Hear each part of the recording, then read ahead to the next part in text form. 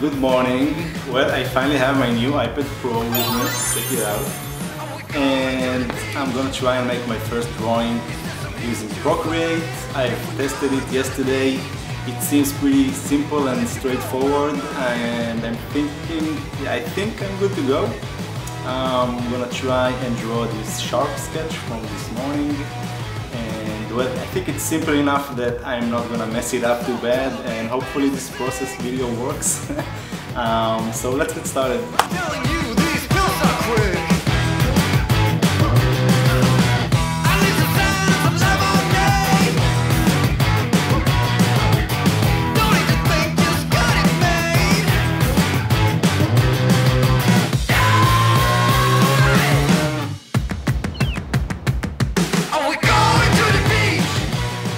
Drawing in Procreate was super fun for me, really natural. Drawing directly on the screen is obviously amazing and I really enjoy it. I think it's very similar to Photoshop, so after a few minutes I kind of got the hang of it. You know, as a heavy Photoshop user, I'm feeling pretty comfortable switching to uh, Procreate for this one. And the only difference is that you don't have all the windows open at the sides of the artboards. No, so anytime you want to switch your brush or if you want to uh, move to a new layer, you need to open that window again and this takes more time. It's another click that you need to do. Um, so I felt like I'm a bit slower, you know, working on Procreate rather than my regular process on Photoshop, but I guess I also need to get used to it. So I'll probably get faster and there's probably a solution for that and I just don't know yet. So uh, I'm gonna check it out. But uh, other than you know the work process other than the fact that it's slower everything else feels really really natural and fun and I really had a good time. Well obviously I don't feel the same amount of control I feel using Photoshop yet.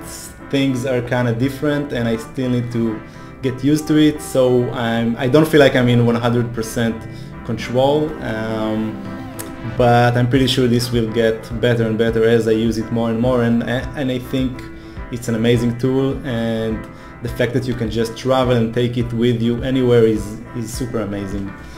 Yeah, so I'm sure I'm gonna use it a lot in the future and make a lot of new process videos using Procreate as well and I really think you should try it out, it's pretty cool. Anyway, I'm gonna leave you with the rest of the process video and catch you back soon.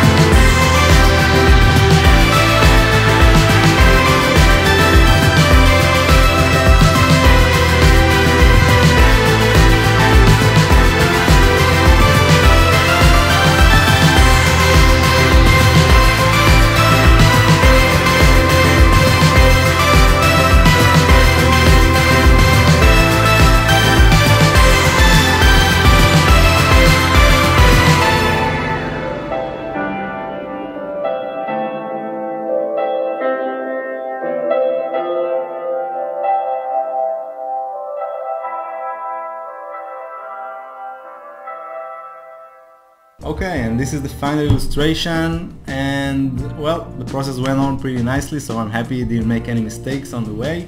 Uh, we had a little giveaway, a poster giveaway last week so I need to announce the winners so congrats you guys, you win this nice little poster, I'm gonna send it to home. So uh, congrats and email me your address, your home address so I can uh, send it over yeah, that makes sense.